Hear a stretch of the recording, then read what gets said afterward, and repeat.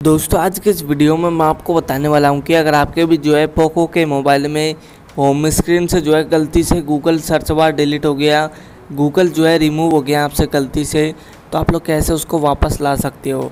तो दोस्तों, यहाँ पर आप लोग देख सकते हो कि यहाँ पर मेरे मोबाइल के होम स्क्रीन पर आपको गूगल सर्च बार दिखाई दे रहा है। सबसे पहले तो रिमूव कर देता हूँ तो यहाँ पर जो है रिमूव हो चुका है। अब मैं इसको जो है वापस यहाँ पर ला करके दिखाने वाला हूँ। वापस गूगल सर्च बार को होम स्क्रीन पर सेट करके दिखाने वाला हूँ।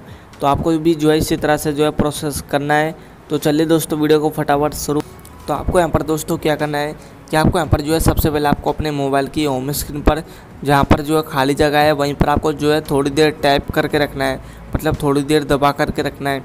जैसे आप लोग यहाँ पर थोड़ी देर दबा करके रखोगे तो आपके सामने जो है तीन नए ऑप्शन दिखाई देंगे नीचे की साइड तो आपको यहाँ पर एक ऑप्शन दिखाई देगा विजिट्स का नीचे की साइड तो आपको जो है विजिट्स वाले ऑप्शन पर आपको यहाँ पर क्लिक कर देना है यहाँ पर क्लिक करने के बाद आपको काफ़ी सारे विजिट्स आपको यहाँ पर दिख जाएँगे तो यहीं पर आपको जो है गूगल सर्च बार का विजिट्स आपको यहाँ पर देख लेना है यहाँ पर मैं आपको मिल जाएगा कहीं पर तो यहाँ पर आप लोग देख सकते हो यहाँ पर मुझे गूगल सर्च बार का विजिट्स मिल चुका है तो यहाँ पर मैं क्लिक कर देता हूँ यहाँ पर क्लिक करने के बाद दोस्तों आपको ऊपर या फिर नीचे कहीं पर डन या फिर जो है ओके का एक ऑप्शन दिखाई देगा तो आपको जो है इसको डन कर देना है। डन करने के बाद आप लोग यहाँ पर देख सकते हो कि आपके होम स्क्रीन पर जो है गूगल ऑटोमेटिक से सेट हो जाएगा।